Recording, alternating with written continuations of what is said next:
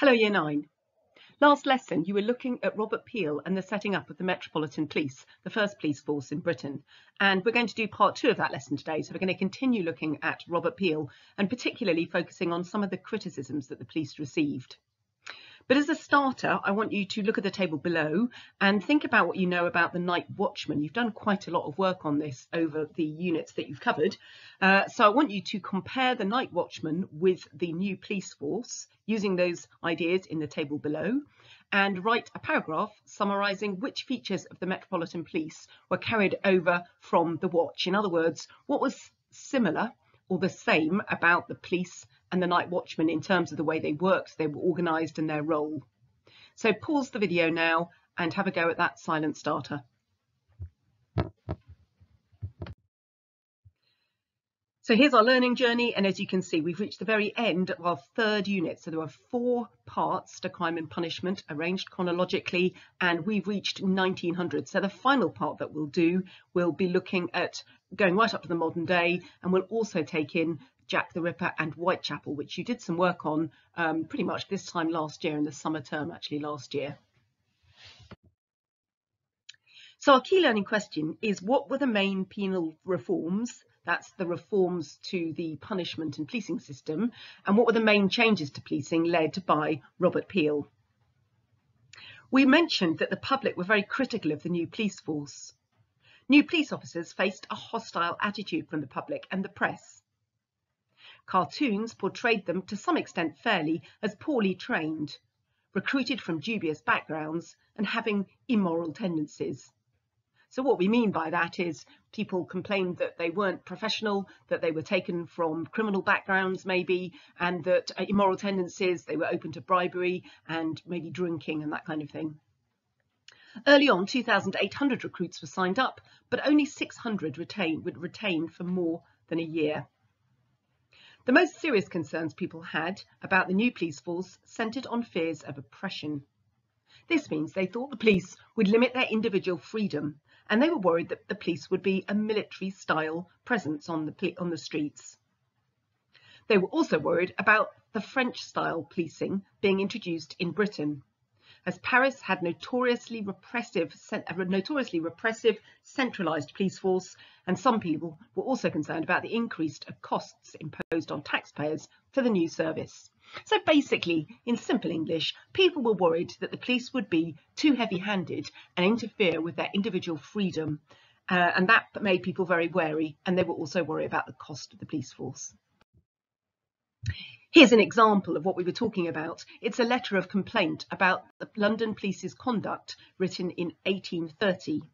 Gentlemen, we are also deeply interested in the good management and efficiency of the new police that I feel myself reluctantly bound to inform you of the misconduct of the superintendent in this division of Brixton, that's an area of London, by being on duty on Tuesday night in a state of intoxication. He's basically saying that the superintendent was drunk on duty.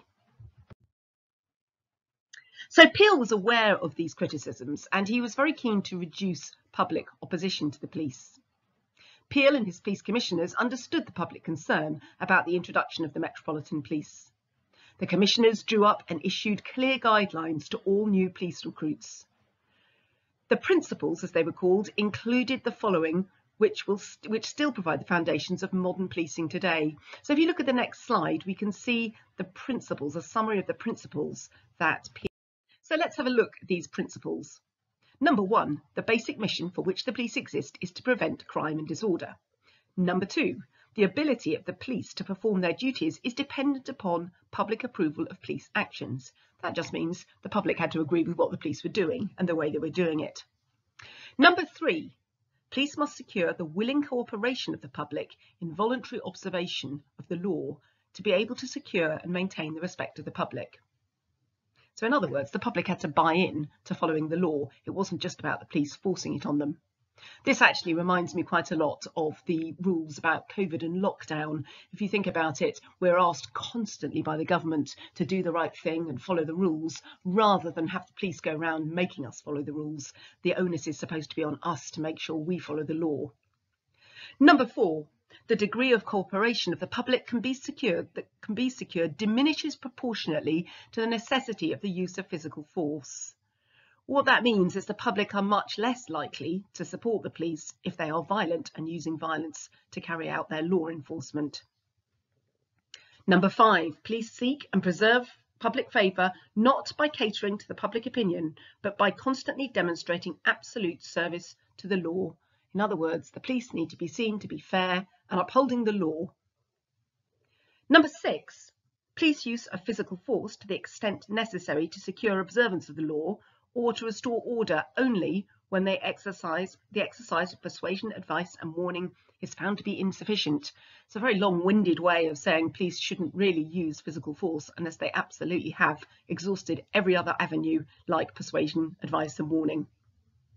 Number seven, police at all times should maintain a relationship with the public that gives reality to the historical tradition that the police are the public and the public are the police. The police being only members of the public who are paid to give full-time attention on every citizen in the interest of community welfare and existence. Again, a very long-winded way of saying, look, the police are actually just like everybody else and uh, they need to you know, respect the fact that citizens are members of the police and police are also citizens. Number eight, police should always direct their actions strictly towards their functions and never appear to usurp powers of the judiciary in other words, police should never take advantage of their powers. And number nine, the test of police efficiency is the absence of crime and disorder, not the visible evidence of police action in dealing with it. So if the police are doing their job properly, crime and disorder will reduce. And it, that's what's really important, rather than police being seen to be heavy-handed uh, and very visible.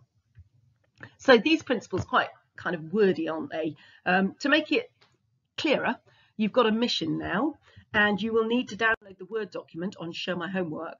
What you've got there is some statements basically that really reword the principles into plainer English and you need to see if you can match each of Robert Peel's nine principles to each of the statements simply by putting the number of the principle on the previous slide in the box next to the statement on the worksheet. So pause the video, download the Word document and have a go at that. It's quite a quick task. And the final thing we're going to look at this lesson is this idea that maybe Robert Peel um, was a humanitarian. So historians have suggested that Peel was a great humanitarian. What is a humanitarian? Well, humanitarianism is based on the idea that all people are equal and inhumane treatment to another human being should be challenged. So it's about fairness, treating people with respect and dignity. So was Peel motivated by this or not? historians have offered a range of views concerning Peel's reasons for his reforms. Some argue that he was at least partly driven by this humanitarian motive, but others argue that he was concerned with setting up a punishment system that was more rational and effective, but not necessarily kinder or softer or more humane. Two interpretations on the next slide really sum up these differences of opinion. So the first one is from a book called The Life and Legacy by Richard Gaunt, which was written fairly recently in 2010. He says this, Peel's criminal law reforms were not designed to result in less punishment, but in its more precise and efficient application. It follows from this that there would be no immediate downturn in capital executions. Remember that's he wasn't expect that means he wasn't expecting there to be less hangings. He may not have been a great hangman, but nor was he a great humanitarian. And the second interpretation is from a Victoria book called Victorian England, Portrait of an Age by G.M. Young, written quite a way back in 1936. He says this, Peel's frigid, that means unfeeling, efficiency covered an almost passionate concern for the welfare of people. So clearly, G.M. Young is arguing that Peel was motivated was motivated by wanting to be fair and kind to people, a humanitarian, in other words. Okay, so you're going to need to pause the video now, and there's a set of tasks on this slide. In order to do the last task, you'll need to look at the cartoon. So do have a good look at this cartoon. It's quite entertaining in its way.